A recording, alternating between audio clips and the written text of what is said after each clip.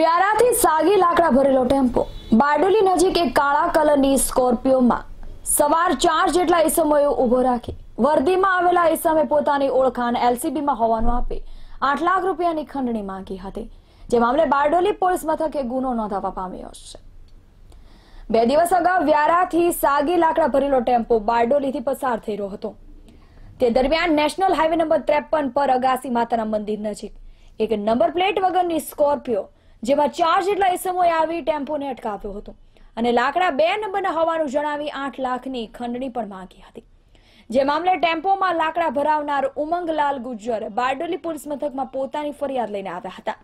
ત્યારે ચોંકાવનારી હકીકત સામે આવી હતી કે સ્કોર્પિયોમાં આવેલા ચાર ઇસમો પૈકી એક ઇસમે પોલીસની વર્દી પહેરેલી હતી. તેમજ પોતે એલસીબીમાં ફરજ બજાતા હોવાનું પણ વધુમાં જણાવ્યું હતું. જે મામલે આજરોજ બારડોલી પોલીસ મથકે અજાણ્યા સમૂહ વિરુદ્ધ ગુનો દાખલ થવા પામ્યો છે. હાલ તો પોલીસ એલસીબીના જે પોલીસ કર્મીનું નામ લઈ ખંડણી માંગવામાં આવી હતી, તેની ફરિયાદ લઈ સમગ્ર ઘટનાના સીસીટીવી ફૂટેજ મેળવી.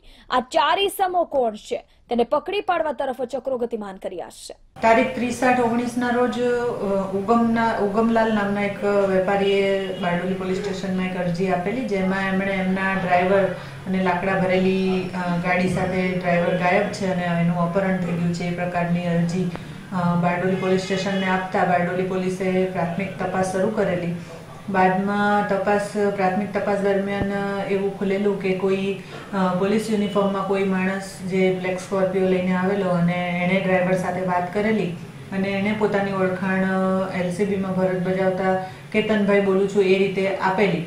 જેના અનુસંધાને આગળ તપાસ કરતા કેતનભાઈ છે, એમણે કોઈ આ પ્રકારે કોઈ કોલ કરેલો હતો નહીં. વધુ તપાસ કરતા આ ઉગમલાલ નામનો વ્યક્તિ પણ હાલ ફોન સ્વિચ ઓફ કરીને ગાયબ થઈ ગયેલો છે અને ડ્રાઈવરે સુરત સિટી કંટ્રોલમાં વર્દી લખાવેલી છે. ટેમ્પો પણ હાલ આપણને મળી ગયો છે. પણ એ ડ્રાઈવર પણ હાલ ફોન સ્વિચ ઓફ કરીને ભાગી ગયેલો છે. પરંતુ સમગ્ર ઘટનામાં સુરત ગ્રામ્ય પોલીસ ખાતે ફરજ બજાવતા કેતનભાઈના નામનો ઉપયોગ કરી અને રૂપિયા આઠ લાખની માંગણી કરેલી હતી.